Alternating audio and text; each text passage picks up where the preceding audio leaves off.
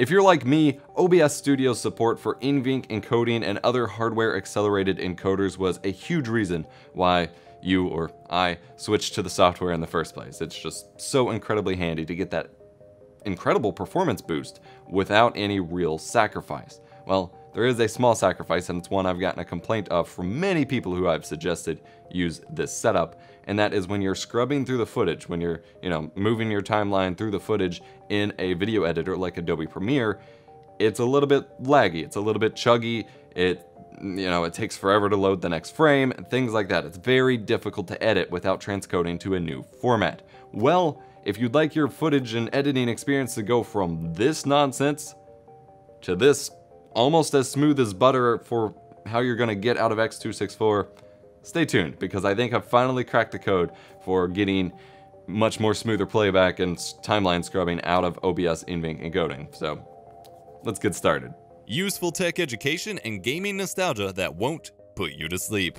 Get subscribed and turn on notifications so you won't miss the next guide. This video does assume that you have a general knowledge of OBS Studio, how to set it up, and you're already using, presumably, NVIDIA's NVENC encoding for your recordings in the first place. And if you don't, check out my masterclass linked in the video description down below. I'll walk you through everything you need to know about OBS Studio, uh, except for this, and that will get you started. But if you really want to know how to optimize your NVENC encoding, I have finally found some good settings. So Make sure you're set up to advanced output mode. Make sure you're set up to use the NVIDIA encoder. Again, this only specifically applies to the NVIDIA encoder for now.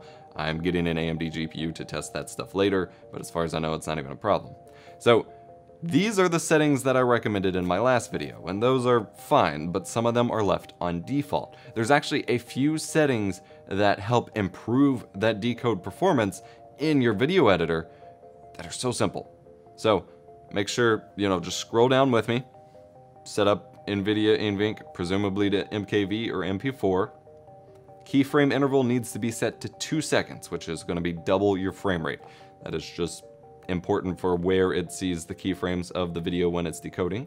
You can choose any rate control method that you wish. So this I've tested this on VBR, CBR, and CQP in full lossless mode at various bit rates all the way from single digit megabits per second up to 150 megabits per second. It still works. So for example, for my lossless recordings, I have a CQP of zero because I'm a madman. Then under the preset, that needs to be set to Blu-ray. I don't know what it is, but something in the flags of the Blu-ray preset allows it to decode quite a bit smoother. That's one of the key elements is that Blu-ray preset, then your profile needs to be set to high if you're using any sort of high bitrate, 60 FPS or higher resolutions, just set the profile to high. And then go down to where it says B frames. This is super important. Where it says B frames, set that to one. One B frame. Now, two is typically better for quality's sake and things like that. So if you were live streaming, I wouldn't necessarily set it, suggest setting it to one, but for recording, you're giving a high enough bitrate and enough you know, encode time, that is perfectly fine. You see no quality loss, and that is super important. You can enable or disable two-pass encoding. That doesn't affect the decode speed, uh, depending on your performance. Sometimes I disable it if I'm choking on some incredible 4K 60 footage, but otherwise it's fine. And pretty much all the other settings are this just left alone. See how I have it set up here on my screen. And that's it. Your, your footage will go from this to this.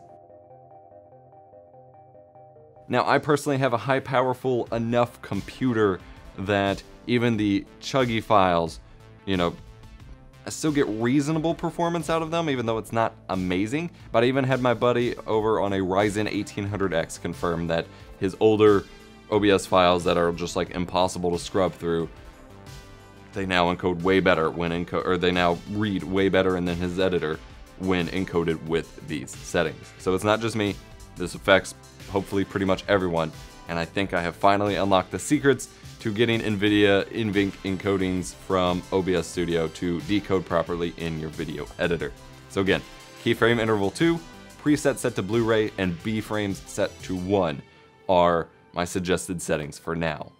Hope you liked the video, hope you found it helpful. If you did, go check out our sponsor TubeBuddy, the best tool for managing your YouTube channel, scheduling uploads from unlisted so you can share them early to your Patreon or early access supporters, uh, automatically taking videos down if you have giveaways, updating your videos in bulk, synchronizing to social media. They have so many features. Just check it out, eposvox.com slash TubeBuddy, and hit the like button, subscribe for more awesome tech content. I'll see you in the next one.